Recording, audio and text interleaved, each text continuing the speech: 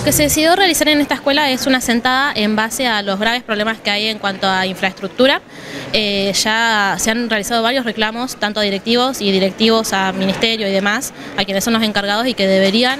eh, reparar la escuela y que tiene que estar en condiciones por el hecho de que ya pasaron cosas graves, que podrían haber terminado muy mal. A una profesora se le cayó una ventana en la cabeza, eh, varios chicos se golpearon, hay paredes rotas, los techos se caen, eh, hay que cambiar de cursos constantemente porque hay un techo que está todo roto y son problemas graves y no podemos venir a la escuela así, no podemos ir en estas condiciones. Y los temas vienen ya desde años, no es que este año nomás, ya vienen desde 5 o 6 años. Más o menos se realizaron alrededor de 12 o 13 reclamos,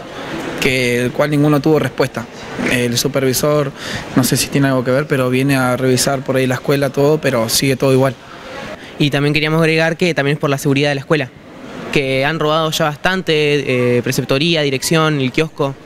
y dicen que arreglan las cosas y nunca hacen nada. Lo que queremos llegar a, cortar es que haya robos incluso a, alumnos dentro de la escuela, que ya sucedió el año pasado, robaron dos bicicletas. Bien, ¿ha podido hablar con el director el día de hoy? Sí, hoy podemos hablar y el director está de acuerdo en el reclamo que, tenemos porque ya viene hace rato y, y es lamentable. Bueno, la verdad que fue un placer encontrarme con un centro de estudiantes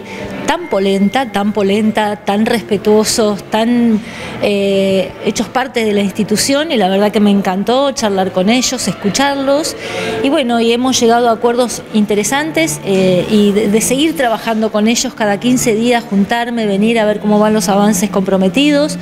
Eh, ellos están muy preocupados por sobre todo la seguridad de las, de las escuelas, no de esta, de todas, porque de hecho me contaron que estuvieron reunidos los centros de estudiantes todos y todos están intentando ver de qué manera podemos tener mayor seguridad en las escuelas, sobre todo esta que fue tres veces eh, donde sufrieron robos y bueno, de hecho se puso una alarma con varios sensores. Nos comprometimos con algunas situaciones edilicias como un aula que hay un, hueco en una pared, eh, a arreglarla, que eso en breve lo estaremos realizando, al igual que un techo que hoy vino el yesero, así que mañana ya estaríamos ingresando a dejar en, en condiciones esa aula. Vine, obvio, con miedo, por supuesto, que siempre los reclamos, pero la verdad que me encontré con, un centro de estudiantes de muchos estudiantes, porque son 18 en total, estuvimos charlando después de otras, de otras cosas con ellos y, la pasamos bien, eh, y la verdad que bueno, fue un placer.